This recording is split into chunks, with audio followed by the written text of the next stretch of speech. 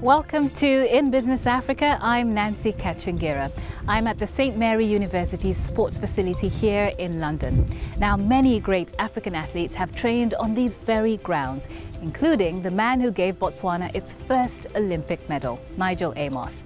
On the show today, we're looking at the impacts of the COVID 19 pandemic on the sports industry right around the continent. Here's a look at what's coming up. We hear how the cancellation of the Africa Basketball League launch is costing hotels in Senegal thousands of dollars in lost revenue. Why the reopening of golf courses in Zambia has thrilled business executives. It's not so much the deals that you strike on the course, it's the forging of, uh, of relationships. And uh, through those relationships that you forge, that's when the business comes in, business linkages and so on and so forth. And how the postponement of international athletics championships has affected the incomes of some of Uganda's top runners.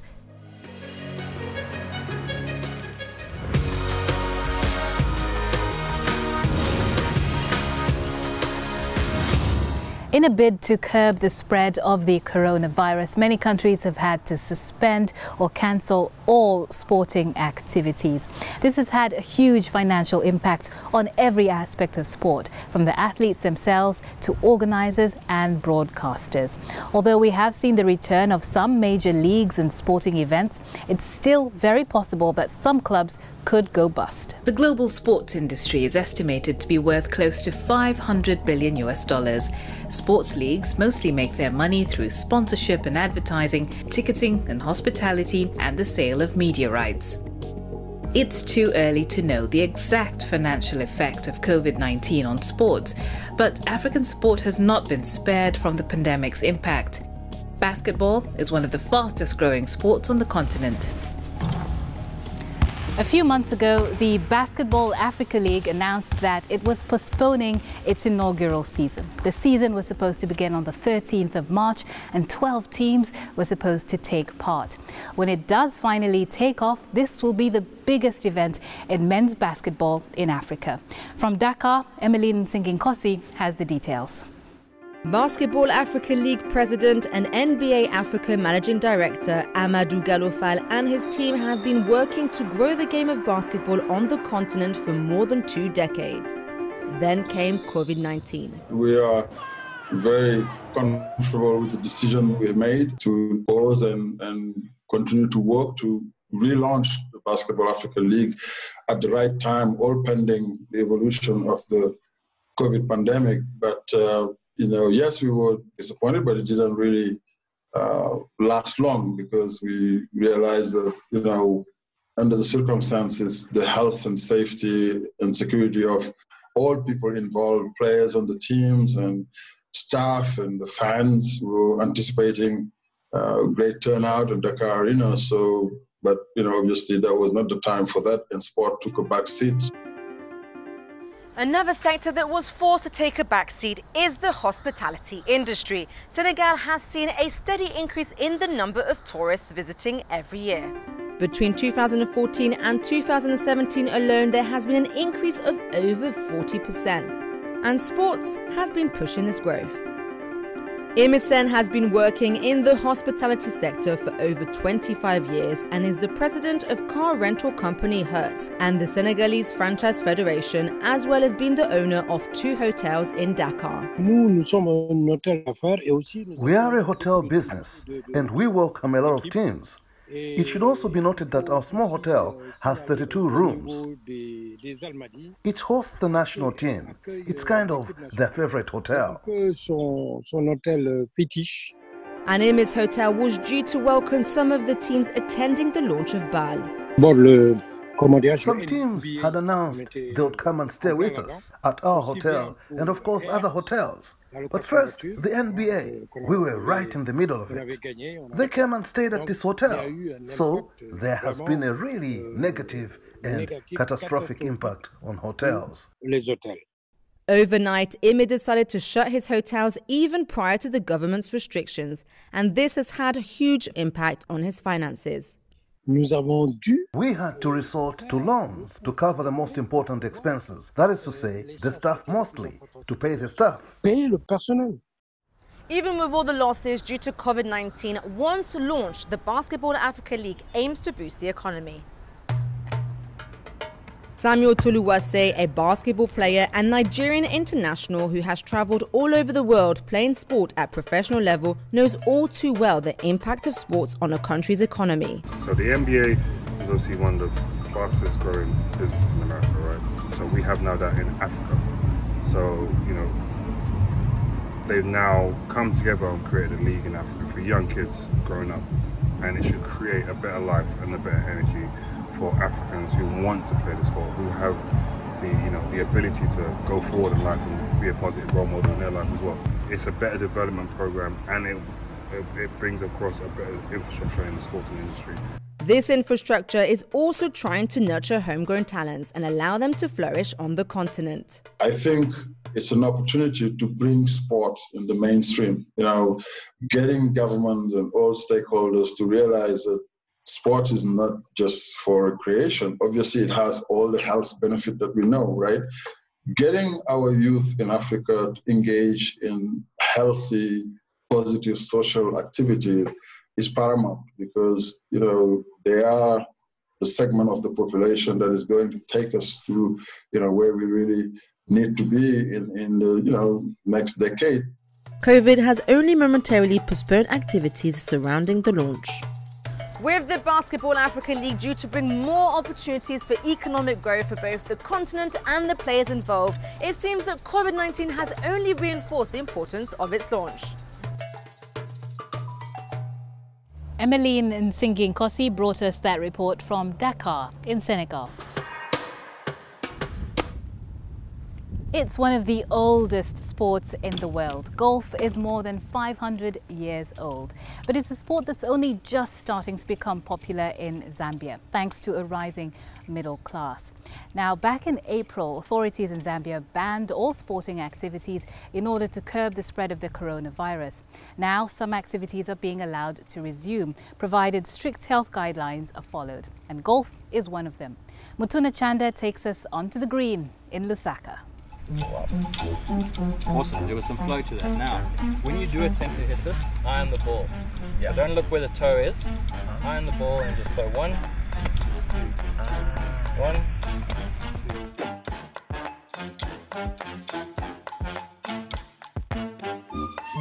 Putt.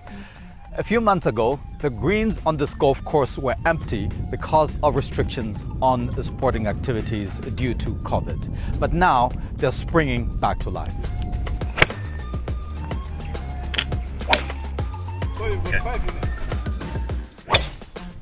The resumption of golf among a few sporting activities is good news for business executives such as Jason Kazirimani.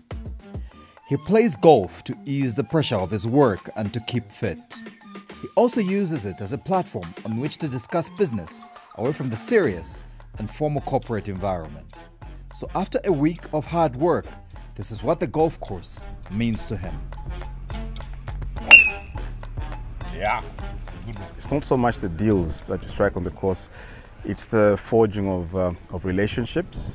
And uh, through those relationships that you forge, that's when the business comes in, business linkages, and so on and so forth.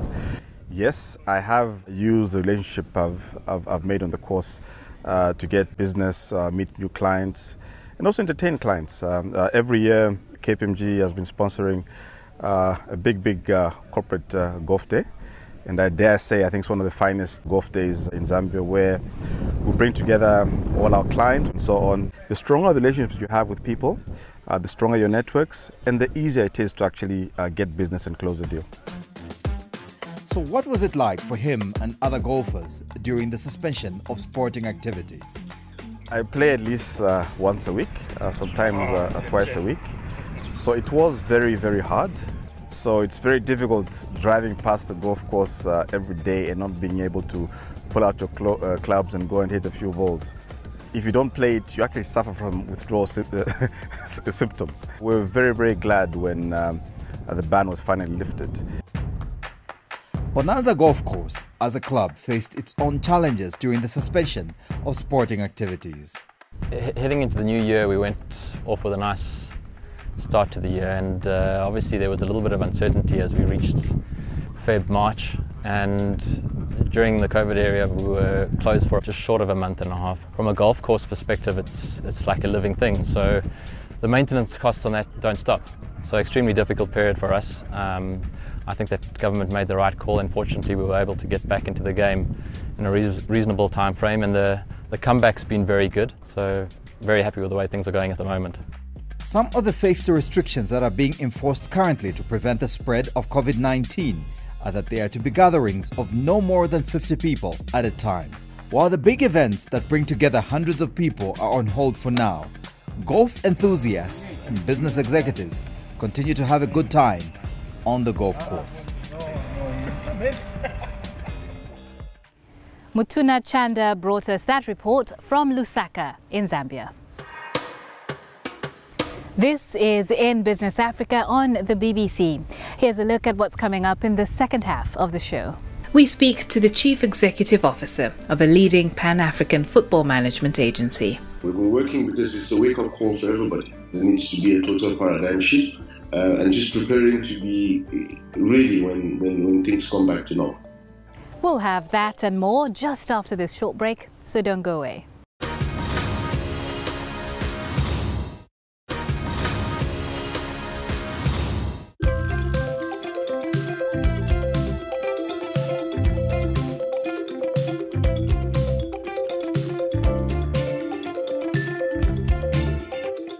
Welcome back to In Business Africa. I'm Nancy Kacungira in London. On the show today, we're looking at the impact of the COVID 19 pandemic on the sports industry around the continent.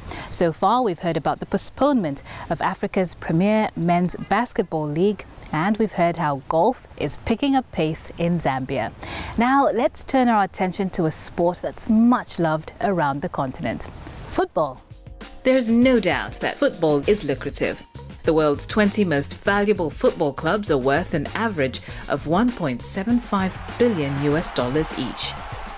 Total revenue generated by these clubs in the 2017-2018 season was a record $9 billion. The top football leagues in the world are Spanish, English, German, French and Italian.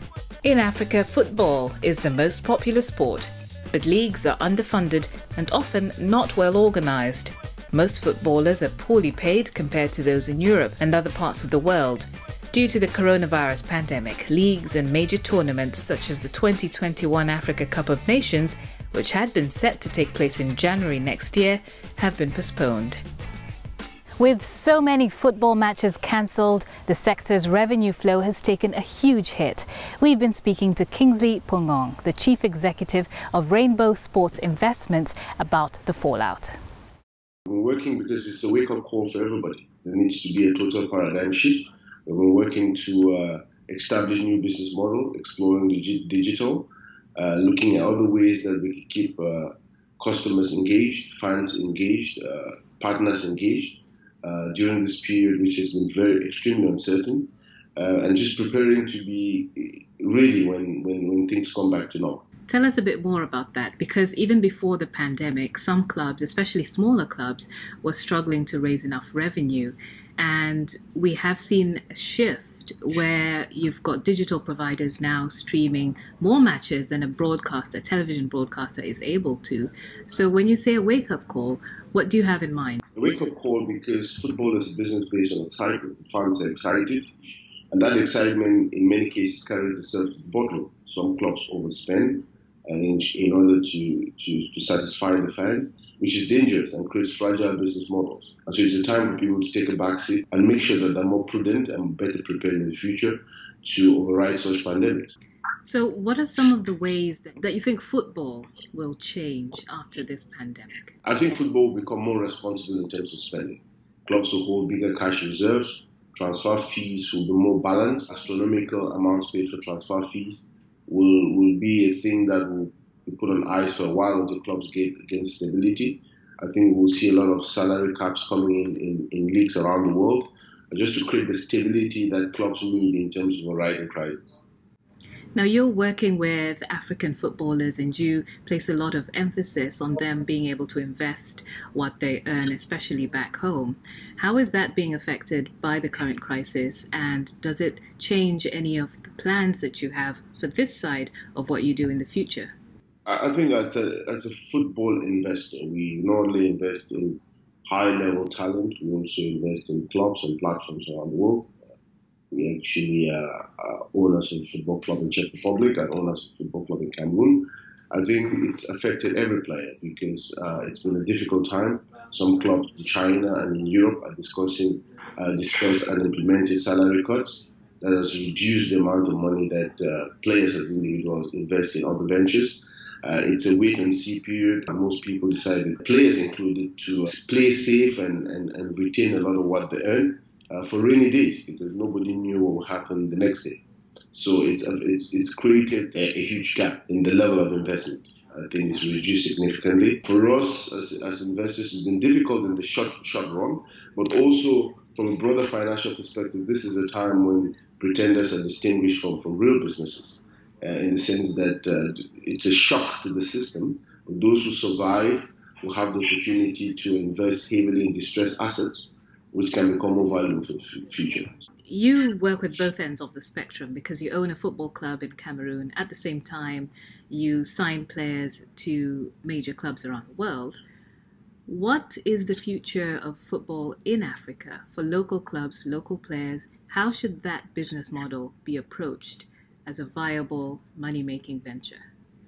I think Africa has the biggest potential in, in, global sports. If you look at the demographic shift, the, the demographic shifts today, uh, this increased urbanization, the the under 30 population Africa is the biggest in the world, which translates to more athletes. Football, uh, there's a football culture, which means Africa has the possibility of producing more soccer players than most parts of the world. And it's about producing an African athlete that can compete internationally, have the same value, uh, and, uh, and, and, and tap into the economic benefits of the global game.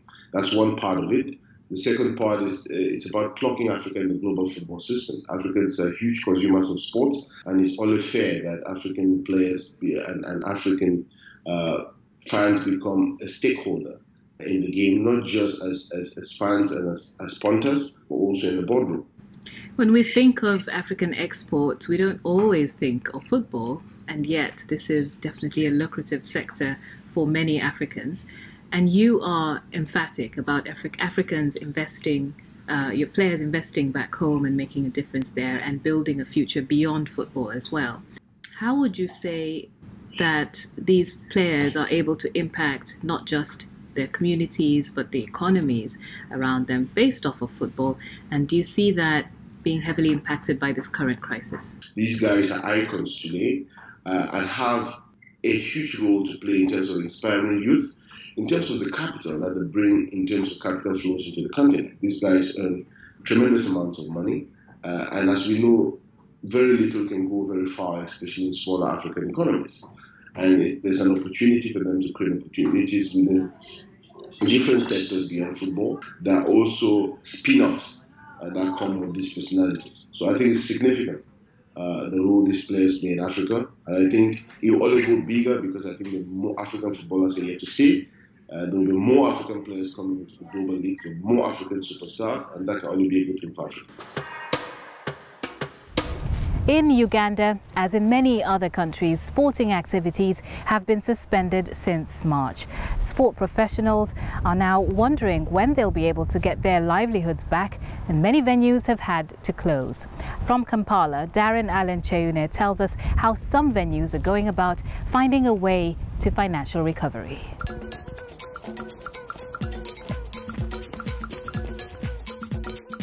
This may not be Uganda's most popular sport, but these runners are well known in this country. They make a living by participating in continental and international athletics events. Halimah Nakaayi specializes in middle distance events. Last year, she won six of her 15 races abroad, including the World 800 meter gold medal. But with the global athletics calendar disrupted and sports events in Uganda suspended since March, her earnings have significantly dropped It has affected me to the greatest extent for sure. Because as the year started, I had big dream. The main target was Olympics. But uh, I was shocked when the races, most of the races, they started cancelling them one by one, of which my target was now to work money because being a lady, I have to perform when my body can still deliver something. I know my time in sports is too short. So when the races were cancelled for sure, it was a little bit disappointing. Last year, five Ugandan professional runners, including Nakaayi, shared more than 100,000 US dollars in gross prize money for taking part in the Diamond League, an annual series of elite track and field competitions. These athletes had been preparing for races in the build up to the 2020 Olympic Games, which have now been postponed to next year. They are, however, hoping to score on some of their 2020 financial targets when the global athletics calendar resumes in August. Now I'm happy, at least the lockdown is easing a bit. At least we can drive, we look for isolated places where we can train from. Yeah, it's a little bit, at least there is hope. Sports venues like these here in Uganda usually attract thousands of fans, but lack of activity has left many of them deserted. This is one of Uganda's most popular sports venues. But it's now more than 100 days since players walked onto this pitch for a rugby match. And it could be months before fans are allowed into facilities like this one to watch their favorite teams. Revenues have dropped since the government measures to stop the spread of the coronavirus came into effect. The legends before COVID-19 and now two different things. The legends before COVID on a Saturday af uh, afternoon like this um, by now we've got uh, rugby happening. Um, there are games on, on, on, the pitch. There are people who are watching the games.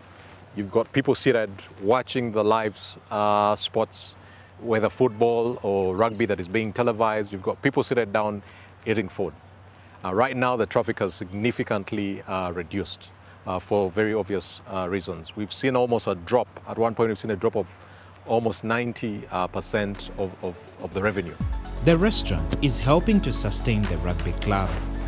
The National Council of Sports, a government body responsible for the development and promotion of sports, recently formulated new guidelines for the resumption of sporting and recreational activities. And as the government authorities slowly ease restrictions, sports in the COVID 19 low risk category, such as athletics, could get the green light fast. That report from Kampala, Uganda, was by Darren Allen Cheyune. Well, it's time for me to get off the pitch now, as that's all we had for you on In Business Africa. I'm Nancy Kacungira. From me and the rest of the team here in London, goodbye and thank you for watching.